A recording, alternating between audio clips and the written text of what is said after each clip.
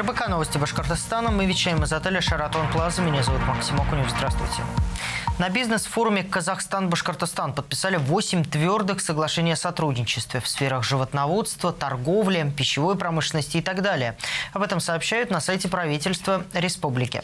Ранее члены большой делегации под председательством Радия Хабирова и Андрея Назарова провели более 300 B2B встреч, результатом которых стали порядка 120 договоренностей о сотрудничестве.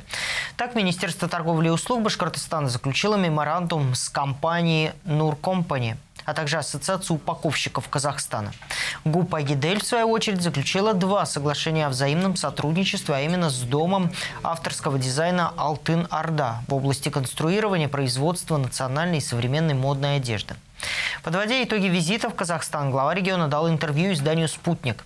Ради Хаберов рассказал, в частности, о создании в Казахстане башкирского торгового дома. Торговый дом, как юридическое лицо, зарегистрирован.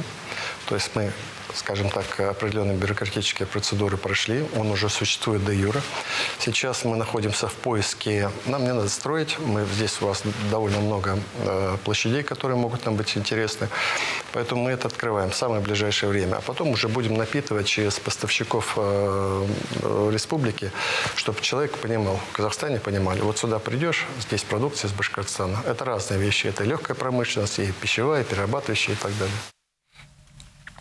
Напомню, что в состав бизнес-миссии в Казахстан вошли представители э, порядка 90 предприятий. Известно, что по итогам 11 месяцев Казахстан занял третье место в рейтинге контрагентов Башкортостана по ВТО, а показатель взаимного товарооборота вырос на 3,1% в сравнении с аналогичным периодом 2022 года и достиг 450 миллионов долларов.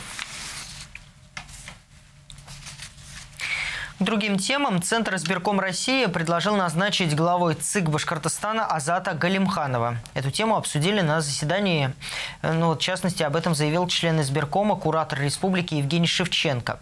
Члены региональной ЦИК проголосуют за предложенную кандидатуру на тайном голосовании. Напомню, в конце декабря прошлого года указом главы республики Галимханов был назначен членом ЦИКа региона с правом решающего голоса. Он родился в 1974 году, окончил Башкирский госуниверситет специальности правоведения, имеет степень кандидата юридических наук. Сейчас работает проректором по учебно-методической работе в Уфимском университете науки и технологий. В 2005-2008 годах был секретарем избирательной комиссии Уфы. Азат Булатович э, с понедельника находится в Центральной избирательной комиссии, и все члены Центральной избирательной комиссии э, встретились, дали свои бесценные советы, потому что очень непросто за 50 один день до первого дня голосования на выборах президента соглашаться на такую должность.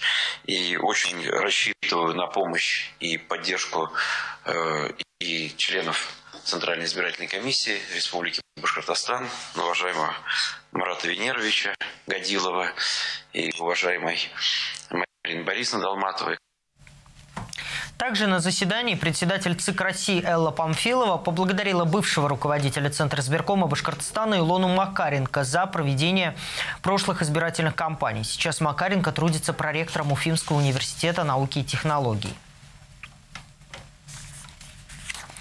Депутаты Госсобрания Башкортостана приняли в первом чтении поправки в Семейный кодекс. Они наделяют мужчин правом в судебном порядке требовать с бывшей супруги алименты.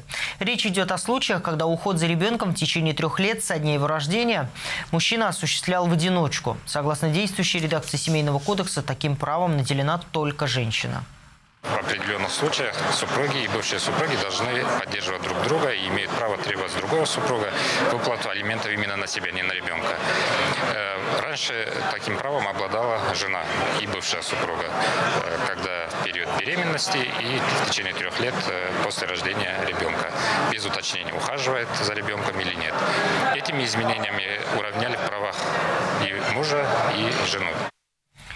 Законопроект вносит и другие изменения в Семейный кодекс. Теперь бывшая жена может потребовать алимента только в случае наступления беременности в период брака. Кроме того, экс-супруг или супруга может получить денежные выплаты только в случае фактического ухода за ребенком-инвалидом до его совершеннолетия или инвалидом первой группы с рождения.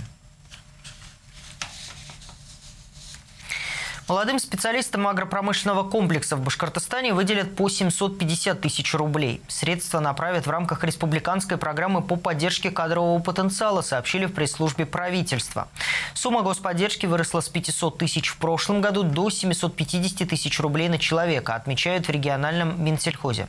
Задача программы – мотивировать молодежь работать э, в сфере сельского хозяйства. Также в ведомстве отмечают, что в последние годы усилили работу с подрастающим поколением, начиная со школы школьной скамьи. Дефицит кадров сегодня наблюдается во многих отраслях экономики. Сельское хозяйство не исключение, говорят эксперты то у нас э, катастрофическая нехватка кадров. То есть дефицит кадров – это, пожалуй, главный тренд 2023 года, с которым мы зашли в 2024. А, и это сопряжено с э, ростом заработной платы, потому что идет в каком-то смысле гонка зарплат. Заявки на участие в конкурсе на получение господдержки принимают от специалистов в возрасте до 35 лет с высшим или средним профессиональным образованием, трудящихся на селе. Среди условий отбора также непрерывный стаж на предприятиях АПК от полугода и обязательство трудиться в данной сфере не менее трех лет.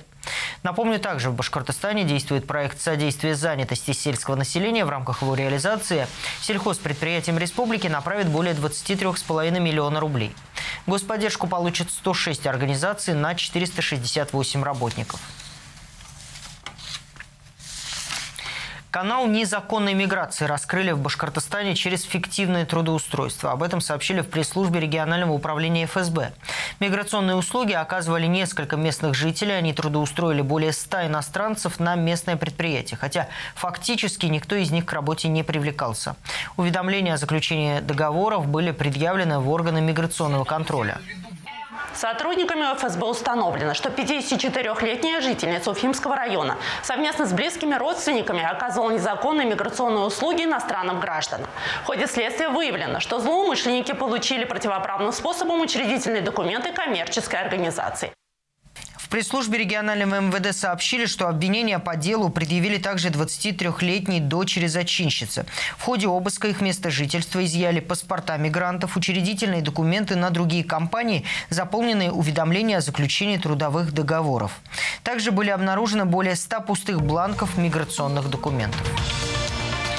На этом наш выпуск подошел к концу. Оставайтесь на РБК.